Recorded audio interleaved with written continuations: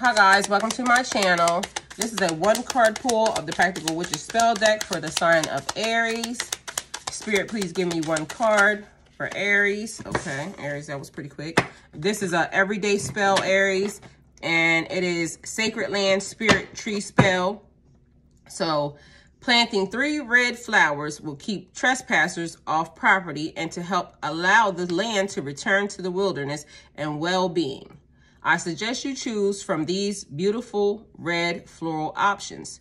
Sumac, poppies, wild roses, geraniums, or nastur nasturtiums, N-A-S-T-U-R-T-I-U-M-S, to heal and guard an ailing or endangered tree. Try the old Celtic custom of tying a red ribbon or magical colored cord around the trunk and chanting, Red for the sap, blood inside this, spirit tree. Every full moon, I will retie the cord of magic around thee. So mote it be.